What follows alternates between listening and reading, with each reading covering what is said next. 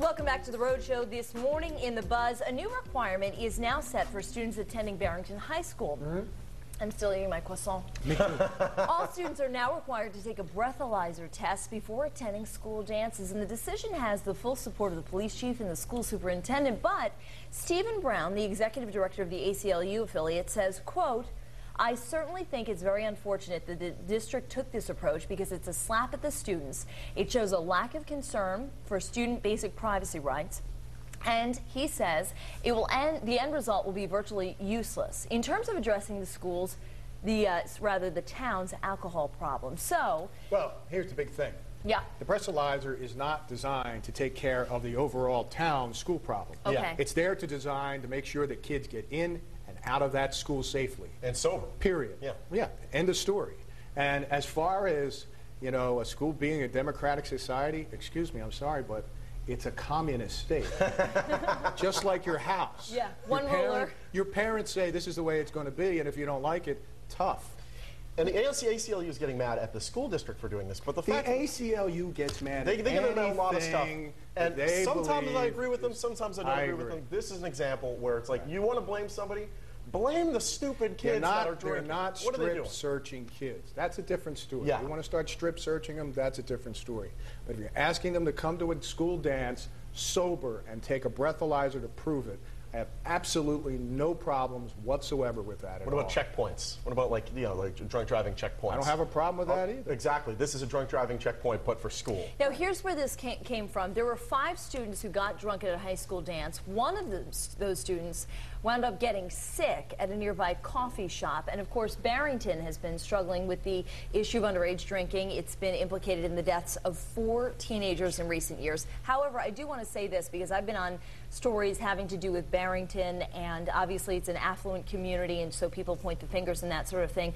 Underage drinking is a problem throughout the state of Rhode Island and throughout the country. Throughout so the this nation. is this is not uh, a specifically a Barrington issue. However, there have been some high-profile deaths because of, uh, of teens drinking underage inappropriately. What would you expect the school to do? Just sit back and do nothing?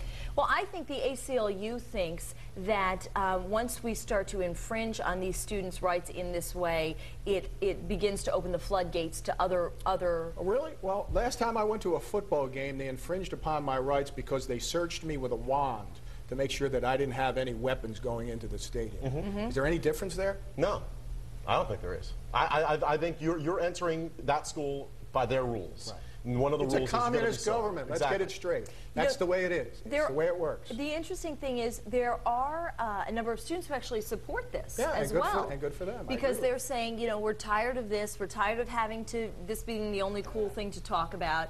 Um, and uh, and I have to say, I didn't drink until I turned 21. Um, that was a personal choice for still me. haven't.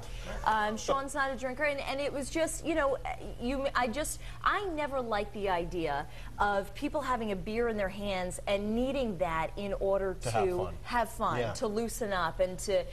Listen, I just think this. Number one, if, if the kids are hell bent on having a drink and it's the dance that night and they know they're going to get uh, take a breathalyzer, they're going to shy away from that dance and they're going to go somewhere else and they're going to try to find a place to drink. Yeah. Mhm. That's not Barrington High School's fault. But listen to this. Now another local town has become the first in Rhode Island. We've been talking about this this morning to actually crack down on adults who allow underage drinking. As they should. Well, last and I night. agree with that. I never understood that mentality. Yeah. I'd rather have them drink in my house, so at least. I can supervise them, than them being out all over the place at all times of the night and day, and I don't know what's going on. Yeah.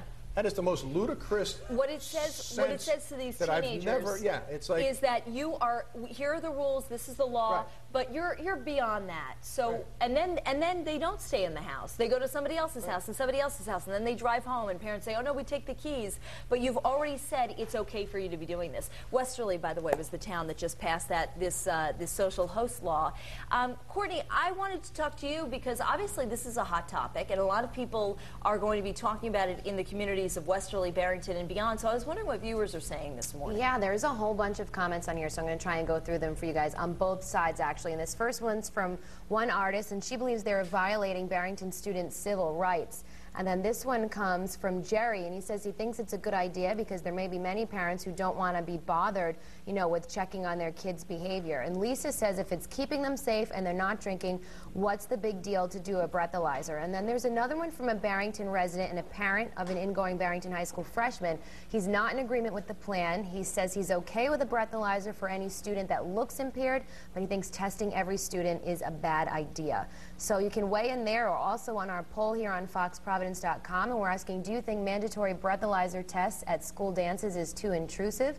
Choices are A, yes, it's a violation of student rights, or B, no, if it's keeping the students safe. And you can also weigh in on Facebook. We've got comments everywhere this morning. And um, our two friends here, Courtney and Beth, both say no. Uh, they think that they should take one before entering and before leaving. So those are some different ones. Haven't heard that one on the blog yet. But uh, I'll be back in 30 minutes with your poll results. Or now head back in the kitchen. Lily, what's happening?